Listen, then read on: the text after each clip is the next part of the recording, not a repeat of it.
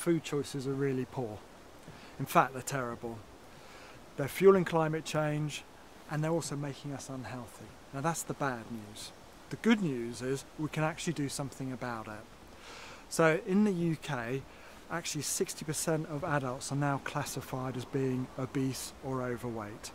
In fact, the NHS recorded a 23% increase in hospital admissions where the key factor was people being overweight or obese. That's bad news. That contrasts with other people in the, around the globe who are short of water and short of food. And 2 billion people around the world live with water scarcity. 500 million people are undernourished. And to make these bad food choices, we've actually created a farming industry now that is starting to have a devastating impact on the environment, on our planet. Over three quarters of the world land surface has now been impacted by human activity, leaving little room for wildlife or even ecosystem services. The farmland itself um, is generating a quarter of the greenhouse gases uh, that we produce as humans, um, making it very hard to hit our targets of net zero emissions. Half of that greenhouse gas emissions is down to the animals that we consume as humans.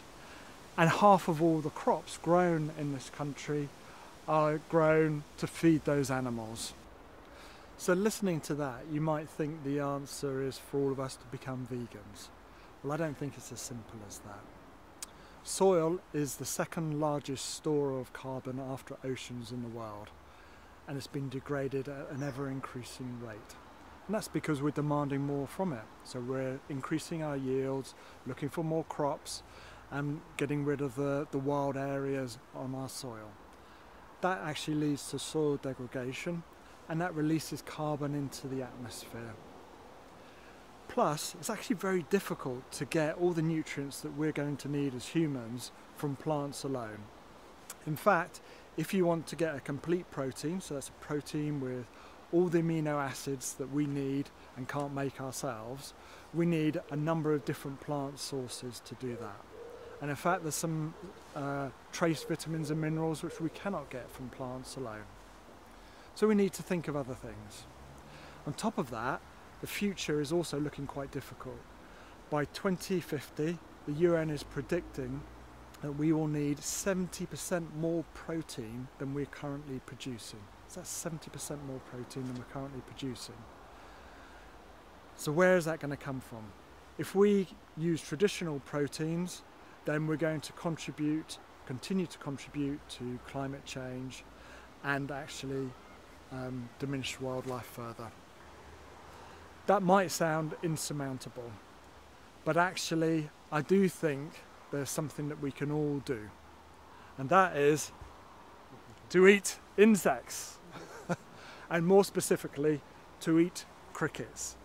Now, I think crickets are going to be the answer to many of our problems, so let me explain why. Insects are not a new food. Humans have been eating them for thousands of years. Look at the ancient Greeks, they ate insects. The Romans did as well. And in fact, if you go on holiday to Thailand even now, you'll often come across insects being sold in street food. Two billion people around the world actually consume insects as part of their everyday diet. So for them, it's nothing new. We have a long history of consuming insects as humans. Right now, commercial farms are being set up in Europe and North America to farm crickets for human consumption. This is quite different from catching crickets in the field because there's a real emphasis on high quality and hygienic conditions. And to suit Western tastes, these crickets are then processed into cricket flour or cricket powder, something like this. And it can be added to almost any food and people, the reason why people do that is because of its superfood qualities. Now what makes them a superfood? Well, the Oxford English Dictionary defines superfoods as those foods that are nutrient rich and contribute to the health and well-being. And that's exactly what crickets do. They're right up there with goji berries, turmeric, kale even. And there's real sort of, I thought I'd kind of go through six key nutritional points about crickets to illustrate that. So the first one is protein. They're really high in protein. So they have 65 to 70% protein content, which makes them much higher than beef. Second, they're high in iron. Now, this, there's two types of iron, hem iron and non-hem iron. The non-hem iron is the stuff that you get from plants. The hem iron is the stuff you get from animals. And that's the stuff you want because it's easily absorbable. And that means crickets have hem iron. That's really good news because a quarter of the global population is anemic. So, well done crickets. The third point is they're very high in vitamin B12. Vitamin B12, you can only source that from animal products. They actually have three times the content of vitamin B12 than beef. So go crickets. Fourthly, they're high in antioxidant activity. Um, antioxidant activities prevent, delay and stop oxidization of different compounds within our body. So it's really important to help prevent and increase immunity against bugs. Um, and they have five times as much antioxidant activity as orange juice. Number five, they're high in prebiotic fibers. Now that's completely different from probiotics. Prebiotics are the food, the good food for the good bugs in your gut. And that's really important because our modern lifestyle of consuming takeaways, high sugar food, high carb food, high fat food even, you know, is food for the bad bugs in our stomach and then can make our stomach go out of balance. And when that happens, it leads to discomfort, kind of make us very lethargic, and give us headaches. Actually, it can also cause mental health issues.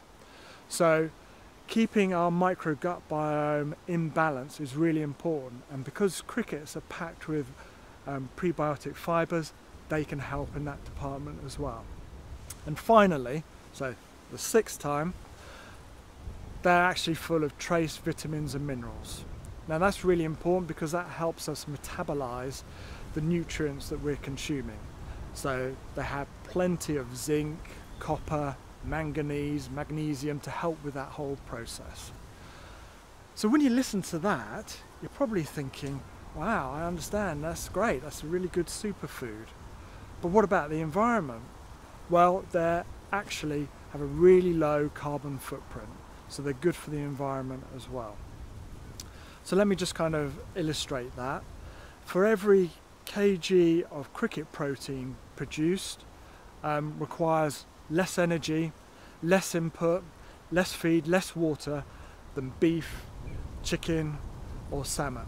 So for example, a, a kg of cricket protein will only produce um, one gram of greenhouse gas, whereas a kg of beef protein will produce 3,000 grams of greenhouse gas. Just think what that's going to be doing to our environment. So we've got less of everything there. So actually thinking about it, listening to all of that, you're probably thinking, actually, yeah, crickets sound like a really good superfood. But what do they taste like? They have a mild, nutty taste. Um, it's definitely not unpleasant and smells slightly nutty as well, so they've got that nutty aroma. They carry flavours really well. So you can add them to all sorts of foods. Um, and that's something that we need to do increasingly to actually make sure that we're able to feed the world's population. So next time you're walking down Nantwich High Street, thinking about the food that you should buy, please look for food that has crickets in because they might be small, but they pack a really powerful nutritional punch and will be part of the big solution to solving climate change.